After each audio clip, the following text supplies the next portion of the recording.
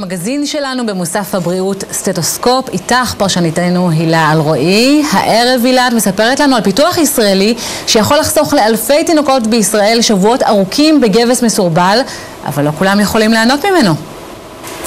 כן, הילה, ערב טוב. כשהורים מגלים בעיה רפואית אצל התינוק שלהם, גם אם זו בעיה שניתנת לטיפול, מפלס החרדות מזנק ותופעת הרגליים העקומות היא אחת מהבעיות המלחיצות האלה, צמיחה של כפות הרגליים כלפי פנים, שצריך לטפל בה בגיל מספר חודשים ומהר. עד היום היו עושים את זה עם גבס, מכפות הרגליים עד האגן. פתרון טוב, אבל מאוד מסורבל, לא נוח לתינוקות ומאוד מפחיד את ההורים. פיתוח ישראלי משנה את זה לגמרי, סטטוסקופ הערב בעקבות נעלי הפלא. הנה. שלום. שלום, צהריים טובים. בת כמה היא? היא בת אה, ארבעה וחצי חודשים. כשהיא יצאה האמת מהבטן, אני כבר אה, ראיתי שמשהו לא בסדר עם הכפות רגליים, אבל לא, לא, לא מיהרתי להסיק מסקנות. כבר בימים שלאחר הלידה, מורן הבחינה שמשהו בכפות הרגליים של בתה אינו כשורה. עברו חודשים עד שהגיעה ההבחנה הרשמית. עומר הקטנה סובלת ממטטורזוס אדוקטוס, תופעה מולדת שגורמת לכף הרגל לגדול בסטייה כלפי פנים. אם מאחרים בטיפול, אחרי גיל שנה-שנתיים, קשה מאוד להתמודד עם הבעיה ולטפל בהם.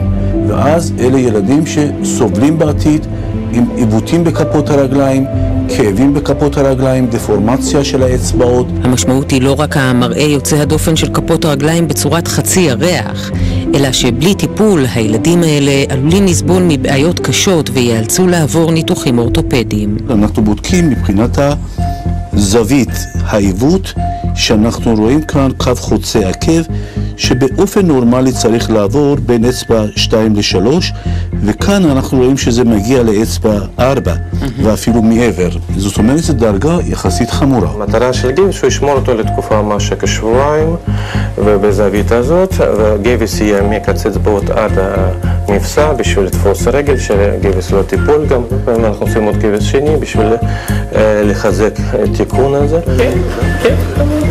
זהו עדיין הטיפול המקובל בתופעה הזאת ברוב המדינות בעולם, חבישת גבס על רגלי התינוקות מכפות הרגליים ועד לאגן לתקופה של שלושה עד שישה שבועות.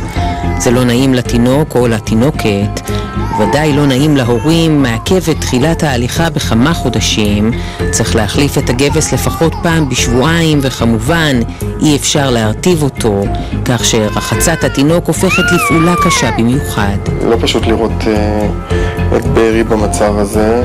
בארי אופיר כבר בן תשעה חודשים, והצוות הרפואי כאן בבית החולים מאיר החליט שגבס הוא הטיפול המתאים ביותר בעבורו בגלל גילו. טיפול הוא לא נעים, אה, אבל זה משהו שעובר, זה יטפל בבעיה. בדרך כלל טיפול בנעלי אמפה ממליצים עד גיל שמונה חודשים בגלל שהילד כבר תשעה חודשים הוא כבר הולך לעמוד פיתוח חדשני שהומצא על ידי רופא ישראלי מציע פתרון יעיל באותה מידה ומשנה לחלוטין את הטיפול בתינוקות האלה. אנפו זה טיפול באמת חדשני, שזה פשוט נותן מענה מהיר, יעיל, עם מעט מאוד תופעות לוואי, ולכן הרבה יותר נוח לך ולתינוק להמשיך עם הטיפול הזה. האנפו הוא למעשה סד בצורת סנדל המקבע את כף הרגל בלי צורך בגיבוס מלא של כף הרגל עד הירך. הסנדלים מותאמים לכפות הרגליים לאחר מדידה, אבל יותר מכל מדובר במתקן נוח ללבישה, וממש לא מאיים כמו הגבס. הטיפול הישן בכבשים מהווה הרבה סיבוכים ובעיות. פצעי לחץ, שינויים בסירקולציה של הדם ברגליים, בעיות היגייניות שקשה להתמודד איתן. הפחד שלי היה שישימו לו גבס. כי פחדתי מזה, איך הוא יתקלח, איך, אה, איך אנחנו נתמודד עם זה, זה לא משהו שהוא פשוט.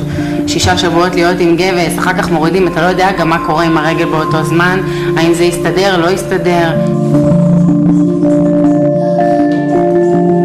ההתחלה הייתה שאימא שלי, אה, אמרה לי, מירב, הרגליים שלו קצת אה, נכנסות פנימה, קצת עקומות, ואני כזה בהתחלה אמרתי לה, אמא אל תדאגי, זה מסתדר בגיל שנה.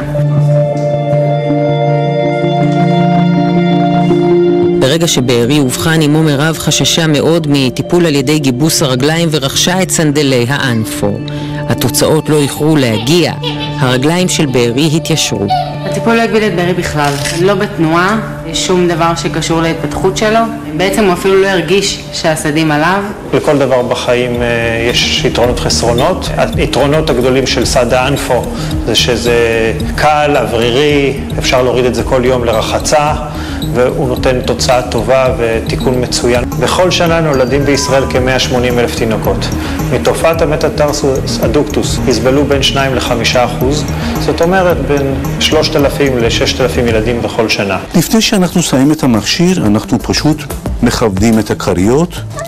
זה כרית מתכווננת, שאני יכול להצמיד אותו או להרחיק אותו. אנחנו מניחים את העקב קודם כל, ומנסים להכניס אותו עמוק בתוך העקב של הסנדל. קיבוע הגבס נחשב אמנם לטיפול יעיל ומבוצע כבר יותר מ-200 שנה, הוא בהחלט טיפול מקובל במדינות רבות, אבל כשמדובר בתינוקות הרכים והקטנים שלנו, החרדה הגדולה והנוחות חשובה במיוחד. ועל אלה כבר קשה לנו מאוד להתפשר. זה כואב להם? בכלל לא. זהו, בזה מסיימים את הטיפול. מתוקה,